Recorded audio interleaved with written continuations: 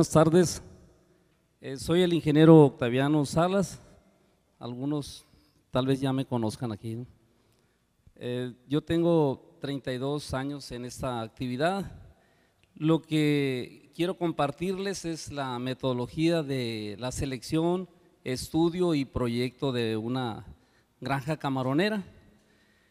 Este resumen que les voy a presentar es un resumen no solamente de la construcción, sino de la operación. En todo este tiempo hemos ido muy de la mano con los biólogos, el biólogo Ernesto Garmendia, eh, juntos él y yo hemos ido por 26 años tal vez, eh, buscando optimizar lo que es la construcción junto con la operación. Porque muchas veces pensamos que la construcción es, de una forma, pero realmente debe cumplir los requerimientos de una buena operación.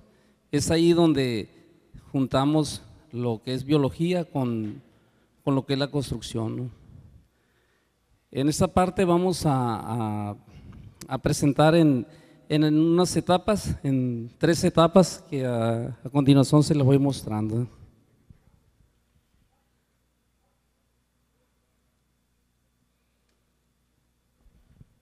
La primera etapa sería situación legal.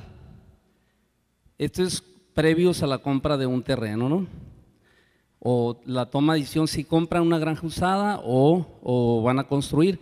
Es la situación legal, condiciones topográficas del terreno, calidad, calidad del terreno, impacto de las granjas que existen, que van a impactar ustedes o los van a impactar, ¿no? Esa sería la primera etapa tendríamos una segunda etapa que serían las condiciones que requiere una granja para su óptima operación. Ahí vamos a tomar 10 puntos que sería la toma de agua, canal de llamada y la fuente, estación de bombeo, canal reservorio, cargas hidráulicas que es básicamente la alimentación de reservorio a los estanques, profundidad de estanques, distribución de la profundidad. Podemos tener una buena profundidad promedio, pero una mala distribución. Libre bordo, que es la parte del nivel máximo de aguas hacia el bordo, ¿no? Eh, altura de cosechadoras eh, para que haya un buen drenado, dimensiones de coronas y drenado. De todo esto tenemos dos puntos. La primera etapa es lo que tenemos, la segunda es lo que queremos.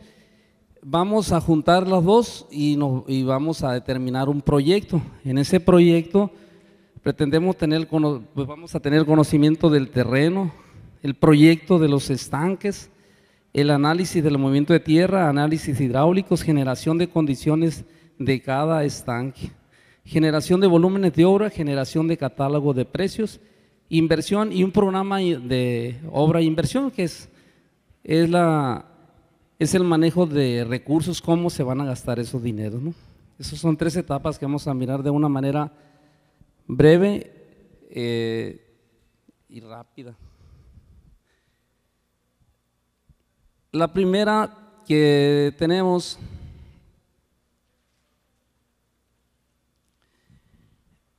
es una granja que pues muchos terrenos se han comprado sin tener la certeza de que sean dueños del terreno, porque en, en lo físico no corresponden a los documentos que se tienen, ¿no? Entonces, el primer punto de la compra es saber si lo que compran realmente es lo que existe en campo, ¿no? Y para ello, este, pues eh, ahorita nos ha facilitado mucho la tecnología, tenemos coordenadas UTM en sistema WGC84, que es la que maneja el programa satelital que todos yo creo conocemos, ¿no? Esos datos los podemos ingresar a un a un, este, al programa satelital y vamos a ver esto. Aquí ya están ingresados, ¿no?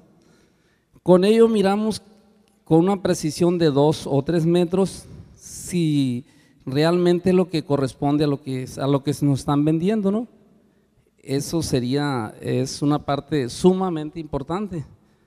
Por nuestra experiencia hemos visto varios, muchos, muchos proyectos que han comprado donde no es y con él podemos ir a, diferentes Por ejemplo, aquí nos trasladamos hasta acá, hasta Topo,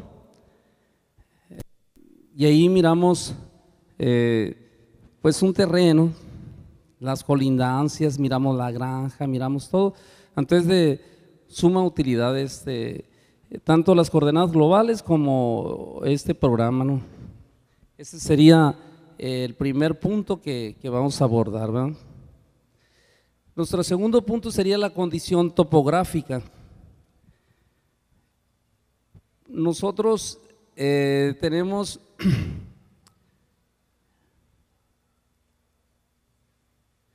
tenemos terrenos por cada hectárea que construimos eh, tenemos aproximadamente 3.800 metros cúbicos por cada hectárea construida en terreno que es un terreno como esto. Yo estoy representando no curvas de nivel, sino colores para hacerlo más ilustrativo. Cada variación de colores son de 20 centímetros. Ese es un terreno muy regular y aquí, si se fijan, hay una variación fuerte de colores. Es un terreno accidentado. Entonces, tenemos 3.800 metros cúbicos por cada hectárea. En terreno accidentado podemos tener 5.800 metros cúbicos entonces hay un diferencial de 50% más de metros cúbicos en un terreno, a lo mejor es mi camioneta. No. Eh, hay un diferencial de un 50% más en costo de movimiento de tierra por la topografía, ¿no? Es un valor bastante importante en, la, en los costos, van a impactar fuertemente en los costos, ¿no? El siguiente punto que tenemos es es la calidad del terreno. Nuestra calidad del terreno nos va a, tenemos por ejemplo terrenos arenosos y arcillosos, limosos, entonces debemos saber la calidad del terreno, porque aquí por ejemplo tenemos un, terreno, un terreno si fuera arenoso de entrada, pues vamos a gastar mucho en bombeo, ¿no? Se forma un diferencial, este es un estanque, este es un corte de un estanque, este es un bordo, este nivel de agua es muy super, está muy por encima del dren de cosecha. Entonces, ello nos produce un empuje del agua aquí. Si tenemos arenas, va a haber una filtración de agua. Entonces, eh, si no le damos tratamiento, vamos a tener problemas de que se nos pueda ir algún estanque o varios estanques. Entonces, el tratamiento es meter barreras de arcilla, ¿no?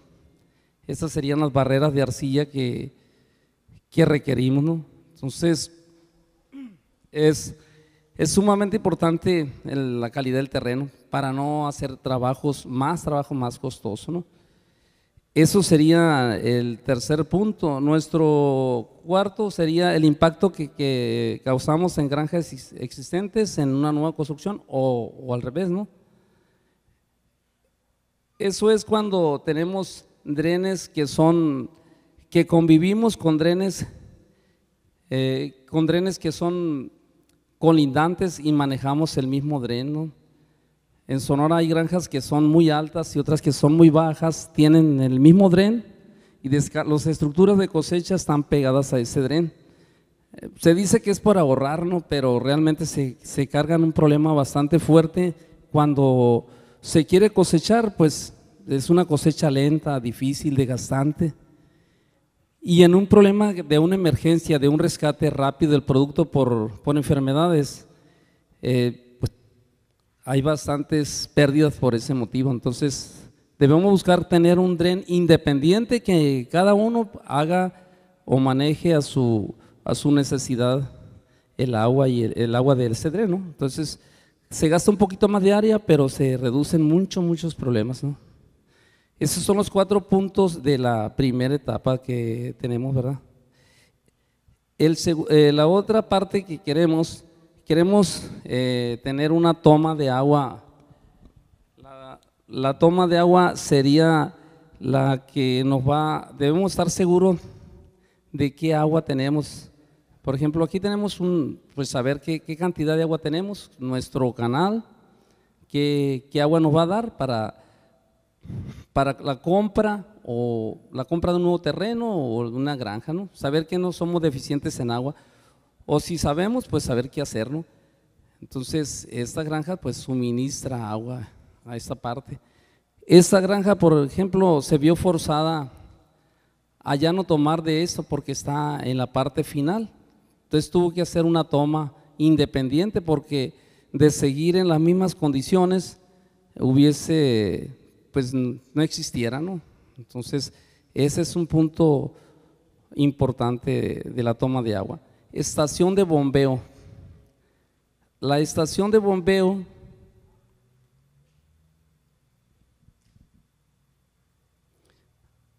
vamos a la parte esta.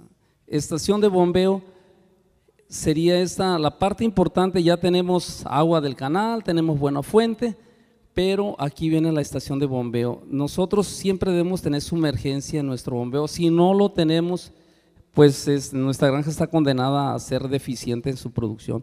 Entonces, aquí tenemos una marea, la menos, la menos 60, y debemos tener capacidad, aunque no lo hagamos, de tener capacidad de bombear las 24 horas. Por alguna situación que tengamos que hacerlo, ¿no? Normalmente bombeamos 15, 16 horas. Hay algunas granjas que bombean continuamente porque hacen un recambio muy fuerte, ¿no? Entonces es importante tener sumergencia. Entonces el diseño de la succión es diferente en cada granja, ¿no? Por ejemplo, esta granja tendrá una altura, esta, esta final tendrá otra altura, es, muy importante el diseño, ¿no? La granja, si se construye en estos terrenos, pues es importante saber qué, estación de bombeo vamos a tener. La estación de bombeos es el punto importante. Eh, en muchas granjas también se descarga por encima de este nivel de agua y se hace un gasto inútil, pues, Entonces necesitamos que, tener una altura suficiente, solamente la necesaria. Que tengamos eh, una losa de maniobra suficiente para, para sacar las bombas, ¿no? Una losa de, de estación de bombeo fuerte también que tengamos bien protegida la salida, porque en muchas partes hemos visto que se ha erosionado aquí y hemos tenido problemas mucho, muy graves. Esa sería la, la, estación de bombeo. El canal reservorio, como aquí lo miramos, el canal reservorio es muy importante porque en una emergencia nos va a ayudar, como dice su palabra, es reservorio, ¿no? Nos va a ayudar a alimentar los estanques, que tengamos por algún motivo problemas de bombeo aparte de que mantiene la misma altura en toda su longitud. En algunos puntos eh, de Sonora se han manejado canales de conducción para ahorrar área y lo que han logrado es que eh, estos primeros estanques se alimenten bien y los últimos sean deficientes porque hay un gradiente hidráulico, ¿no? Entonces, eh, pues tiene que ser un, un canal reservorio, esa parte tiene que ser un canal reservorio. La carga hidráulica, vamos a hablar aquí de la carga hidráulica,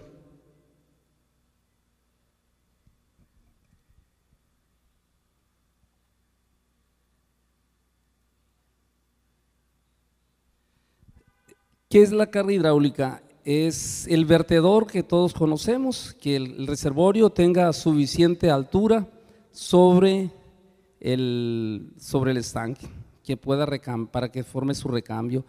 Nosotros hemos manejado como óptimo 50 centímetros de, vertedor. Si tenemos, hemos visto estanques que tienen 10 centímetros, 20, y cuando baja el reservorio incluso se regresa el agua. Entonces debemos tener, como hemos manejado en todo lo que hemos visto, 50 centímetros. No, no tiene por qué ser muy alto. Hay granjas que han manejado este, esta altura de, de, cresta que nos hace hacer un bordo muy alto, una estructura muy alta, eh, muchos tubos que nos doblan el costo en estructuras y en, en bordos. Entonces, eh, entonces, aparte de esto, tenemos un empuje tan fuerte que puede producirnos un rompimiento. Entonces, nada más necesitamos este, este 50 centímetros, este valor. Es lo que requerimos, eso sería la carga hidráulica. La profundidad de los estanques. Es el siguiente punto. La profundidad de los estanques debemos tener, bueno, pueden ser de un metro a 1,20, que es lo que hemos manejado. Pueden ser más, hemos manejado más, pero como media se ha manejado entre 1 y 1,20, ¿no? Entonces, esta es la profundidad promedio, debemos buscar una profundidad promedio buena, con una distribución, que ese es el, siguiente punto, que es una distribución de la profundidad. Debemos tener una buena distribución. La, buena distribución eh, es importante pues para que haya una, una distribución también del camarón. Lo ideal es que los estanques fuesen planos, completamente planos, pero en la cosecha pues no podríamos cosechar, entonces pues tenemos que tener un equilibrio entre tener pendientes eficientes para nuestra cosecha y tener una buena distribución. Aquí les voy a, aquí nosotros hemos manejado al paso de, de, muchos años de ir probando cuáles son las mejores pendientes, las mínimas para cosechar bien, eh, tratando de evitar los, las, un diferencial grande entre las profundidades, ¿no? Aquí, aquí hay valores de porcentaje, les voy a manejar de, este, distancia nada más, altura. Este es un estanque de 500 metros, de este punto a este punto hay 25 centímetros. O sea que del centro es nuestro promedio, solamente sube 12 centímetros y medio, 12 centímetros y medio. Transversalmente eh, tenemos una pendiente más fuerte, pero como es muy corta, baja 10 centímetros. Y longitudinalmente eh, baja 50, en la parte final se reflejan solamente 25. Con ello hemos logrado mantener un equilibrio entre tener una buena distribución de la profundidad y este, una cosecha eficiente. Aquí les voy a mostrar un poquito de, de una, del fondo de una granja, del proyecto. Este es un proyecto que tenemos.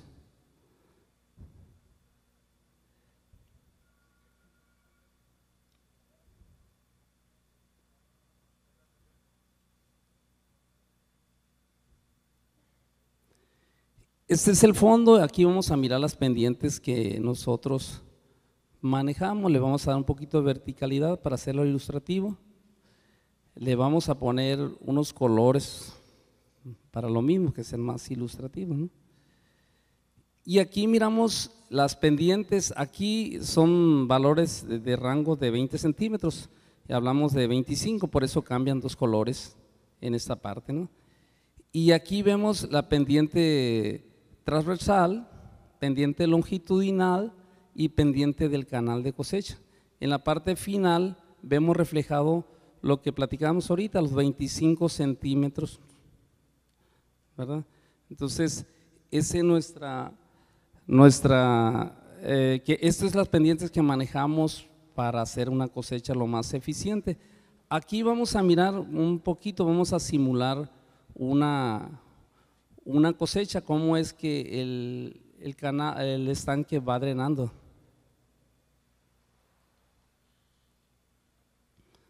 A ver si no es. Eh, el área roja el, sería la simulación de nuestra agua.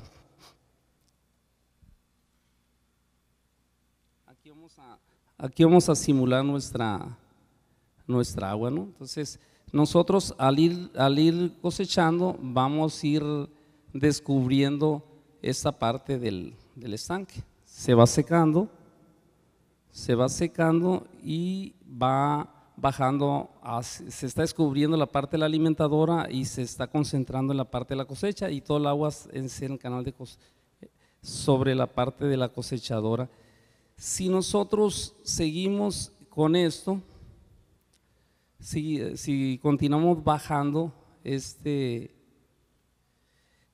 este, drenado, pues va a ir bajando, cada vez lo vemos más, todo se va hacia el centro y, hacia la cosechadora hasta que queda en, este punto, Y el agua finalmente se concentra, nuestro camarón se concentra en esta parte, ¿verdad? Aquí tomamos unos videos para hacerlos más ilustrativos de, esto. Esta es una granja que la construimos eh, hace 20 años, se dio mantenimiento, ahí se mira lo que es las pendientes, las pendientes transversales, la pendiente longitudinal y el agua cómo se va concentrando sobre el canal. Ahí se va concentrando en nuestro canal. Si lo miramos más cerca, vamos mirando cómo está bajando y se está concentrando en esta parte. Aquí hay una cosecha en, que se está haciendo, ¿no? Y que sería lo mismo que nosotros tenemos acá. Si nosotros continuamos eh, bajando, el agua se va a ir bajando hacia la cosechadora, ¿verdad? Con las pendientes que, nosotros hemos marcado. Aquí vamos a mirar, vamos a, otro video donde vamos a mirar ya más cerca eh, la cosecha. Nada más que ahí desde día y hay muchos pájaros, ¿no? Qué bueno que fue de día porque nos podemos mirar todo, ¿no? Lo que queremos mirar. Aquí, si se dan cuenta, pues tenemos pendiente transversal, pendiente longitudinal y el agua se concentra aquí. Que es lo mismo que tenemos en, esta parte de aquí, del, de, este, de esta parte, que agua ya se concentró aquí. Aquí se me pasaba a comentarles la, es la, esta es la profundidad, la distribución, la altura de las cosechadoras. Cuando hablamos de la estructura de las cosechadoras, es lo siguiente. La estructura de las cosechadoras es básica porque la última agua, que es la que tenemos en este punto, es la más lenta. Si nuestra altura de nuestra cosechadora está en este punto, pues es una cosecha muy lenta la última agua. Y, y si está por encima, pues definitivamente se, no se cosecharía. Entonces debemos tener esos 35 centímetros que nosotros marcamos. El tubo, en nuestro tubo debe estar libre, debe estar libre para que pues, funcione como vertedor, pero a la vez debe tener un colchón de agua para que nuestra cosechadora pueda succionar y tengamos un dren que tenga la capacidad de mantener al mismo nivel este, este, este, este nivel pueda mantener libre el tubo, ¿no? Como aquí lo estamos mirando, ¿no? En esta parte vamos a, mirarlo. En esta parte vamos mirando cómo la cosechadora tiene agua, tiene un colchón de agua, el tubo está despejado, el dren tiene la capacidad de drenar todo lo que, a mantener ese nivel. Y la, cosecha es una cosecha muy simple, están, pues tenemos gente trabajando ahí, que solamente está supervisando lo que se está cosechando, porque no está haciendo nada, si ustedes lo ven. El dren queda, va a quedar seco, la cosecha está cumpliendo con todos los requerimientos. Ahí va a mirar. Entonces, esa es la parte que, que tenemos ahí, ¿no? De la cosecha que es vital, como todos debemos saber, es vital para, para la salida de un producto rápido y sin problemas, ¿no?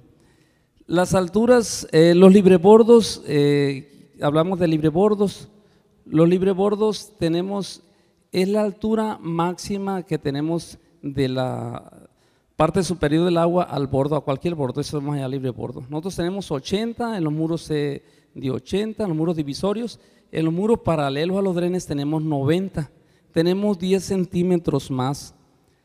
Y la razón de que tenemos 10 centímetros más es que si por algún motivo se nos rompiese el reservorio y este bordo fuera igual a estos, el agua iba a brincar hacia acá. Entonces nosotros lo tenemos 10 hasta 20 centímetros por encima de estos.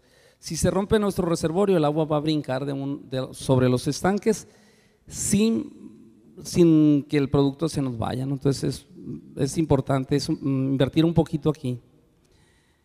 En el asunto de las coronas, eh, aquí fue las alturas, eh, las dimensiones de las coronas.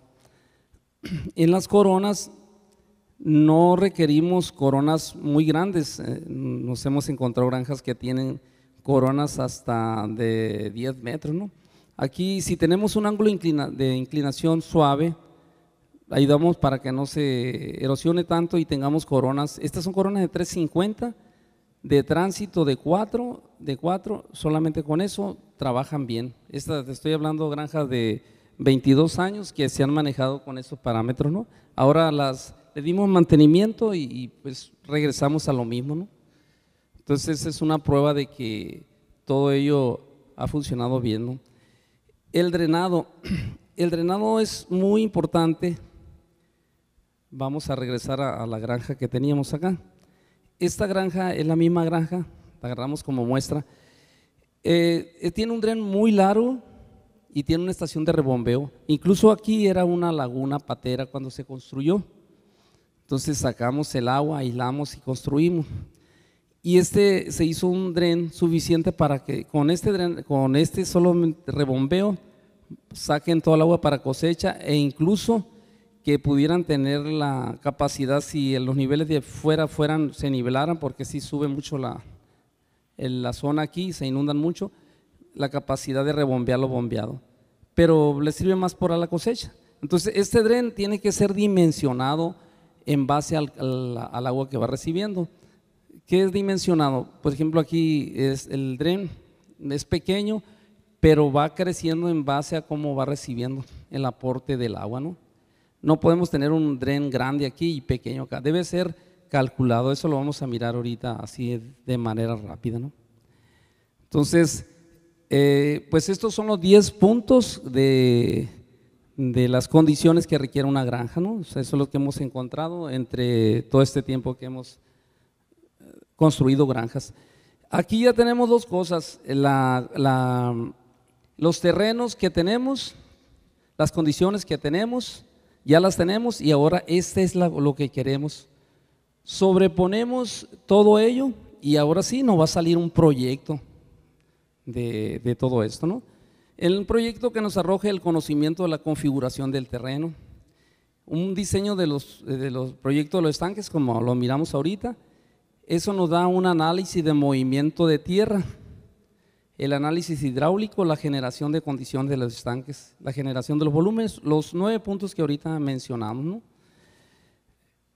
De esto, pues vamos a pasar aquí a la siguiente etapa, ¿no? que, que son, es, el, es un proyecto de una granja que está en proyecto, no se ha construido, ¿no?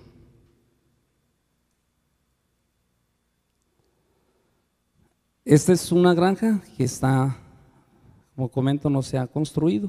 Entonces hacemos el diseño de los estanques, de todos los estanques. Lo que miran aquí, bueno, me voy a adelantar un poquito, es, cortes y terraplenes para lograr esto. ¿no? En esta parte debemos eh, tener un equilibrio entre, así trabajamos nosotros, tenemos cinco pendientes sobre el fondo de los estanques para lograr eh, pues un drenado óptimo. De ahí vamos a cortar, vamos a cortar dentro del reservorio, porque dentro del reservorio, porque finalmente nuestro reservorio queremos terminar el ciclo y que quede seco, sin andar rebombeando, que todo el agua salga, pues, por las alimentadoras. Entonces, tenemos que cortar dentro del reservorio, dentro de los drenes, con un dren calculado hidráulicamente, y y, este, y relleno si hay. Entonces debemos tener un equilibrio entre lo que cortemos, entre todo lo que cortemos para formar. Entonces en esta parte vamos a mirar vamos a mirar un poquito de este terreno que es un terreno es un terreno un poquito no, no de los mejores, pero es bueno, pero no, no tan bueno, ¿no? Voy a representar eh, como colores para que lo vean ustedes. Es un terreno de estas características, ¿no? Voy a mencionarles los colores para que los haga ilustrativo. Normalmente serán curvas de nivel, pero siento que es más representativo en esta forma, ¿no?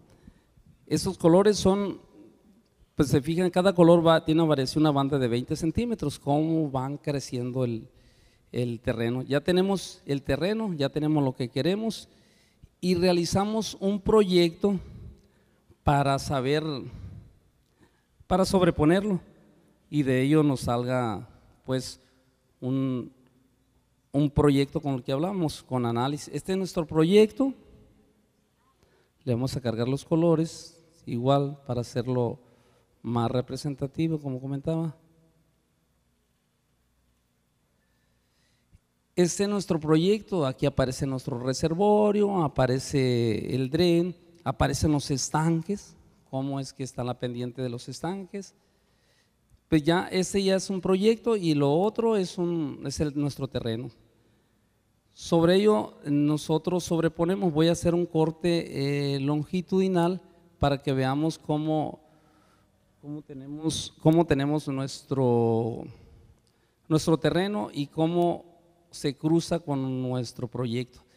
Este es, es una línea verde, es el, ¿sí lo miran bien? ¿Sí, verdad? El color verde es el terreno natural, que tiene una pendiente muy pronunciada. Nosotros no podemos tener esa pendiente porque nos produciría mm, láminas, eh, profundidades muy diferentes. ¿no? Y tenemos un proyecto que sí queremos sea de una pendiente suave. Entonces, eso nos dice que necesitamos cortar mucho dentro de, dentro de esta parte y dentro del reservorio y dentro del estanque. ¿no? Eso nos arroja que cortemos eh, bastante en esta zona, que aquí lo vamos a mirar, o que tengamos cortes de 80, de 1,24, de, de un metro, pero que tengamos rellenos en esta zona. Entonces, esos rellenos eh, son los que miramos aquí, en esta parte. Entonces, aquí hay un punto muy importante. Si nosotros le damos un proyecto, si tenemos un proyecto bien definido, con una y una, una, dirección bien puntual, podemos lograr que todo esto coincida, cortes, terraplenes, de, cortes, terraplenes y formaciones. ¿no? Si logramos esto, por ejemplo aquí va a ser una formación, tenemos un bordo de 250 del reservorio y solamente vamos a formar 170 el resto va a salir del corte que tengamos. Entonces nosotros, al menos así lo manejamos nosotros, cobramos solamente lo formado. En esta parte vamos a cobrar un bordo bien pequeño, aunque entreguemos un bordo muy grande, ¿no? Esa es una cosa importante. Hemos visto construcciones que primero le dan a los fondos, primero le dan a los bordos, forman los bordos y después arreglan los fondos. Entonces tenemos un doble costo, ¿no? que es bastante fuerte. Aquí nosotros vamos a, de esto generamos un análisis de, movimiento de tierra, una tabla que nos arroja un análisis de cada uno de los estanques con, las formaciones de bordos, rellenos, cortes de reservorio. Hacemos un equilibrio en todo lo que eh, manejamos aquí hasta dejar en cero. Entonces, hacemos un análisis y esto lo tenemos que seguir tal como se marca aquí. Ese solamente es el análisis. Para que tengan una idea, aquí es un, se forman 646 mil metros cúbicos de, de muros, se rellenan 13, se cortan 584 dentro de los estanques, 111 en los reservorios, 98 en drenes. Los cruzamos y mantenemos cero ahí, con un 35% más de corte que de formaciones porque eh, tenemos un volumen de abundamiento, ¿no? De ahí que si formamos primero y después eh, rellenamos lo que cortamos, pues tenemos más de un millón de metros cúbicos, ¿no? Más vale hacerlo de, la primera vez bien, aunque sean eh, un poquito más caro, es muchísimo más caro formar muchos metros cúbicos a precio bajo, ¿no? Eso sería eso sería muy, muy caro, ¿no? Eh, los análisis hidráulicos, aquí hablamos, llamamos de análisis hidráulicos. Como comentábamos, este dren no tiene que ser muy grande al inicio, porque tiene muy poquita agua que va, va recibiendo y se va ensanchando y se va profundizando en, pues en función del agua que va aportando los estanques. ¿no? Finalmente este dren debe ser grande aquí. Eh, ese también se calcula, hay un cálculo hidráulico para ello, ¿no? Este, este, pues en el cual, en el cual tenemos, consideramos el área, la lámina de agua, el recambio, el tiempo, y, la, y ya sabemos la aportación de cada uno de los estanques y eh, cómo, cómo va a ir creciendo nuestra necesidad de desalojar esa agua la base que vamos teniendo y cómo la base va a ir creciendo, ¿verdad? Es muy importante que en el diseño se respeten o se, pues se respete lo que se construye, ¿no? Porque si decimos que vamos a hacer un recambio del 12 y hacemos un, recambio del 25, podemos decir, pues no nos dio el dren, entonces lo que pasa es que lo están sobrepasando sobre lo que se proyectó. O si reducen el tiempo también pues no va a funcionar como se, como se debe. Así es de que hay que plantear bien lo que se quiere desde el inicio para que esto no falle. ¿no? Para ello es importante, para generar velocidad requerimos eh, darle pendiente. Pero la pendiente no puede ser muy excesiva porque nos crearía una velocidad que si dependiendo del tipo de terreno, si tenemos terrenos arenosos, si tiene mucha pendiente nos va a erosionar. Si tenemos arcilloso nos soporta más la velocidad. Entonces también la tenemos que calcular y generar una velocidad en, en cada uno de los puntos que no nos sobrepase. En este caso, las velocidades, si se fijan, no pasan de punto 5, todas. Las finales trabajan un poquito en punto 5, porque este es un terreno arcilloso. Si fuera arenoso, vamos a reducir la, pendiente, ¿no? Tenemos terrenos que están muy altos y, sin embargo no drenan porque no se les dio pendiente, pues entonces pues, requerimos de la pendiente, ¿no? Estaciones de bombeo que no, que se quedan sin agua porque el dreno no les aporta el dreno les aporta agua, entonces es suma importante el cálculo y, ejecutarlo tal cual se construye, ¿verdad? Eh, tenemos cálculos, generación de las condiciones del estanque. Aquí hay un punto muy importante de ir revisando cada estanque,